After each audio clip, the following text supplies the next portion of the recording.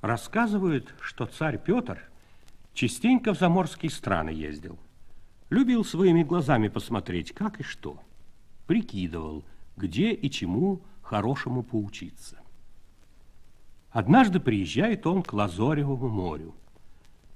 Заморский король его встречает, во дворец ведет, показывает ему всякие диковины.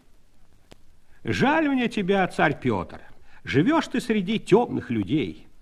Ничего-то они не знают, ничего не умеют. Взгляни вот, какие мастерицы в моем королевстве имеются. И показывает кружевную скатерть. Царь Петр посмотрел на скатерть и засмеялся. Где же ты в своей стране видел березки да ромашки? Это русское кружево из моей страны. Быть того не может, вскричал король и стал скатерть в увеличительное стекло рассматривать.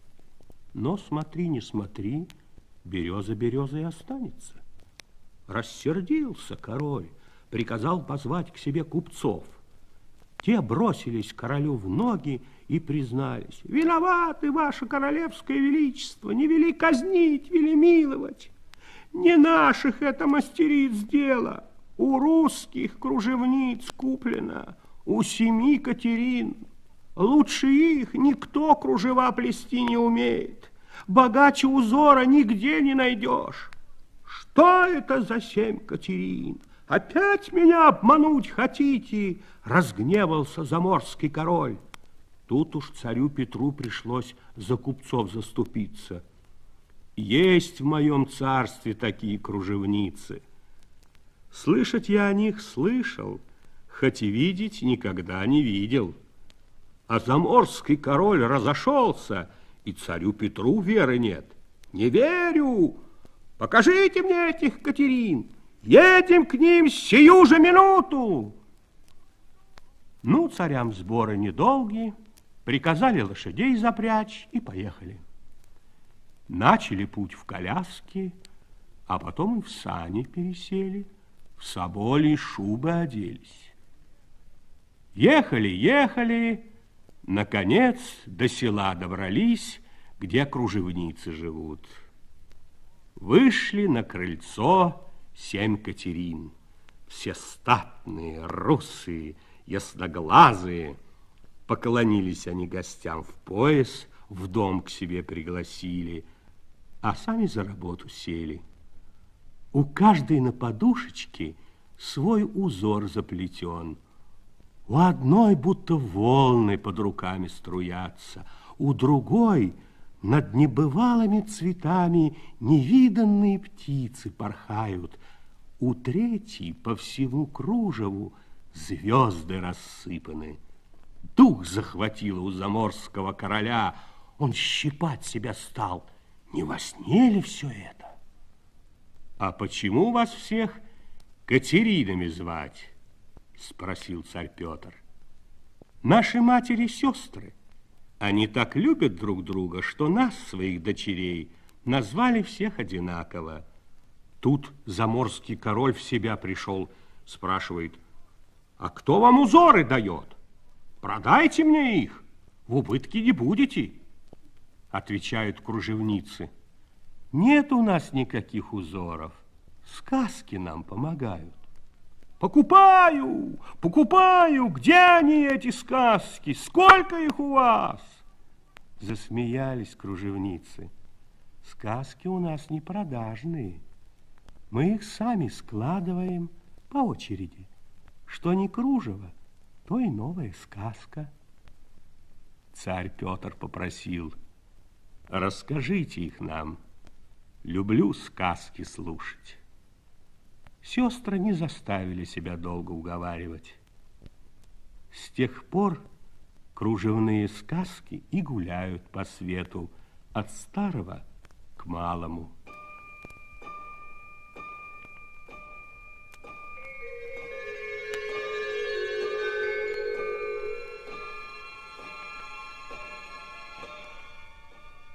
Когда-то, очень давно, снежинки были все одинаковые. Просто падали на землю маленькие белые шарики. И Мороз еще не был дедом, а всего-навсего небольшим шустрым парнишкой, Морозкой. Придет, бывало, на смену осени Морозка и начнет хлопотать с утра до ночи. Украшает снегом землю, реки льдом, а птицам и зверям выдает на зиму белые шубки, чтобы им легче было от врагов спрятаться. Сделает он все эти дела и не знает, чем бы еще заняться. Скучно станет Морозке. Ходит он по земле унылый, неразговорчивый. Звери и птицы наперебой зовут его в гости. «Морозка, иди к нам орехи грызть», — приглашают белки. «Морозка, давай на перегонки бегать», — лопочут зайцы. «Поиграй с нами в прятки, Морозка!» — кричат ему снежно-белые куропатки. Морозка с большим удовольствием и сладкие орехи грызет, и в веселые игры играет. А только ведь все надоест, если повторяется одно и то же изо дня в день. Махнет Морозка в тоске рукавицей, и в тот же миг из белой тучи полетит на землю видимо-невидимо снежинок. Но и от этого веселее ему не станет, ведь все они однообразные, уныло одинаковые, платье одной снежинки точь-в-точь точь такое, как у другой. Посмотрит, посмотрит на них Морозко, закроет глаза и заснет невзначай где-нибудь под елью. А как заснет, развяжется у него широкий кушак, вылетят оттуда злые ледяные ветры и начнут своем по земле гулять, на всех страх наводить, все живое морозить. С трудом разыщет спящего морозку какой-нибудь старый заяц, растолкает и, стуча зубами от холода, начнет упрекать его. «Ну чего ты спишь, морозка? Твои ветры нас совсем заморозили?» Никакая шуба не греет. У медведицы малыши простудились, кашлять начали. Скочит Морозко на ноги. Стыдно ему. В самом деле, кто же спит на работе? Сердито свистнет ветром, и те снова покорно уберутся к нему в пояс. Завяжет Морозко кушак крепко-накрепко и побежит перед медведицей извиняться, на новорожденных медвежат поглядеть.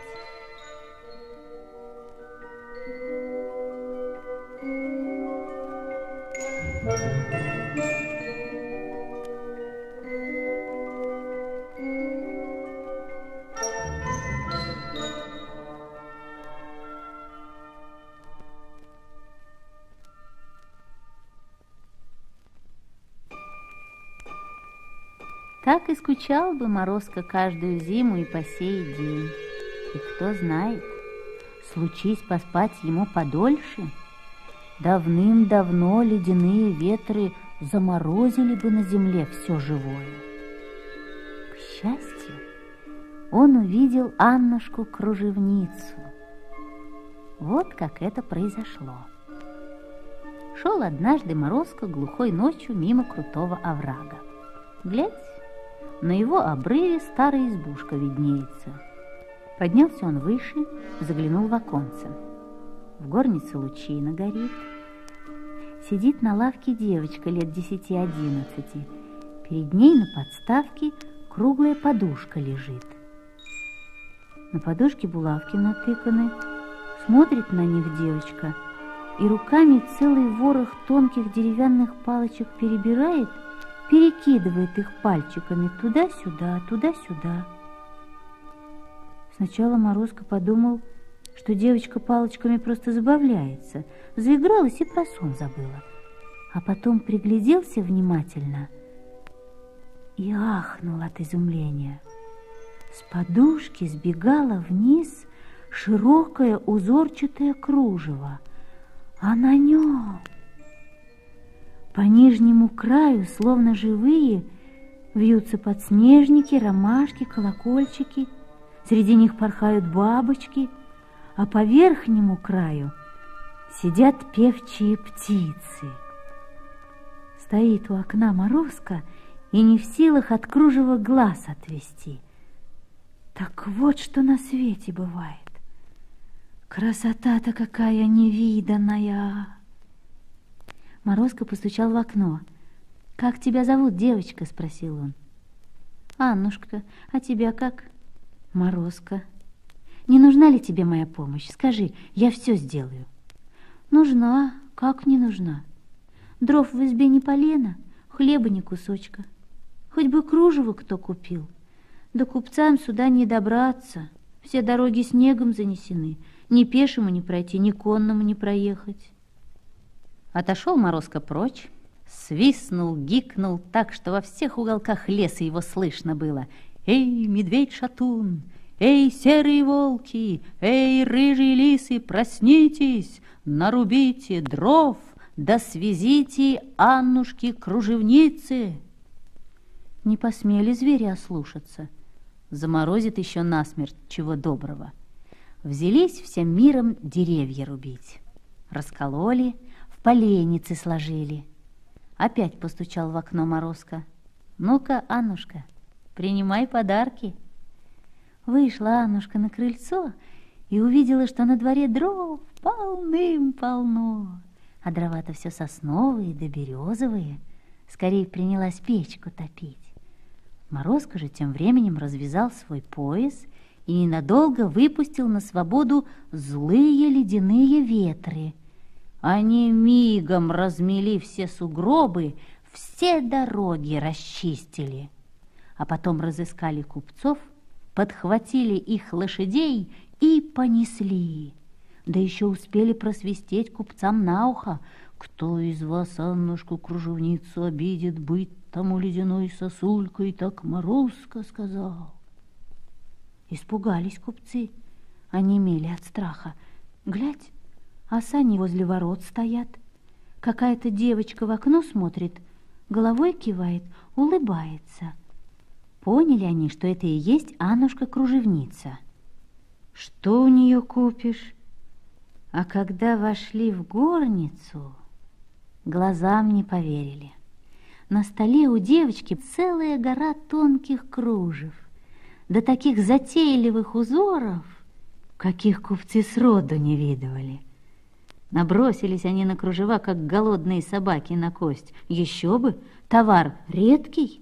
В заморских странах можно выручить много золота. Едва-едва поделили они Аннушкины кружева, потом бросили девочке три медных гроша, да и вон пошли. А ледяные ветры тут как тут. На пороге встречают их, спрашивают, значит, купчики-голубчики денег жалко. Захотели стать ледяными сосульками. Ну что ж, давайте, братья ветры, примемся за дело. Пришлось купцам назад вернуться и положить на стол не гроши медные, а золотые рублики. И то они в большом барыше остались. Чтобы не гневить больше злые ветры, отсыпали они Аннушке из своих запасов и муки, и соли, и сахару, пообещали часто бывать, да с тем и уехали. Испекла Аннушка на радостях пироги с капустой. Тут и Морозко в гости пожаловал. Девочка угостила его пирогами и сказала, «Спасибо тебе, Морозко, пропала бы я без тебя. Не нужна ли и моя помощь?» Обрадовался Морозко и говорит, «Подари мне один-два узора, чтобы снежинки новые платья себе смастерили. А то они такие некрасивые, такие одинаковые. Бери все, Морозко, бери, я еще придумаю». Полетел Морозко на снежное облако. «Сестрички-снежинки!» — весело сказал он. «Взгляните на эти узоры! Вот такими красивыми и разными должны стать ваши платья. Ну и переполох поднялся на снежной туче.